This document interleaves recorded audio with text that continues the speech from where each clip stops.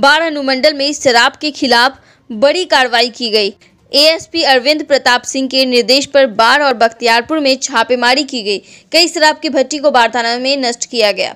वहीं बख्तियारपुर में 400 लीटर देसी शराब के साथ 10 लोगों को भी गिरफ़्तार किया गया। एएसपी ने बताया कि शराब के खिलाफ लगातार कार्रवाई जारी रहेगी।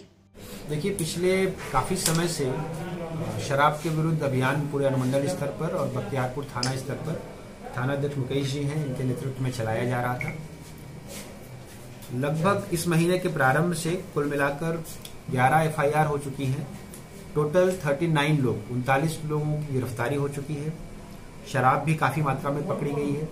आज भी 400 लीटर के आसपास हम लोगों ने पूर्ण निर्मित अर्धनिर्मित शराब, मटेरियल, मीठा, ये सब जब्त किया है। कुल मिलाकर नौ पुरुष और दो महिलाओं को शराब बनाने के लिए के अपराध में पकड़ा गया है, उनके घरों से शराब बरामद की गई है। आज की जो कार्रवाई है, ये साइमल्टेनियस ड्राइव है। ये समकालीन अभियान, ये एस ड्राइव पूरे अनुमंडल के अलग अलग थानों में एक साथ चलाई जा रही है। आज थानाध्यक्ष बख्तियारपुर मुकेश जी के नेतृत्व में, राघोपुर में, बख्तियारपुर बाज़ार स्टेशन रोड में, माधोपुर, रानीसराय, ओल्ड बाईपास, इन जगहों पर एक साथ रेड की गई है। इस रेड में इनके साथ अतमल गोला के पुलिस बल भी था और सालिमपुर थानाध्यक्ष भी शामिल थे।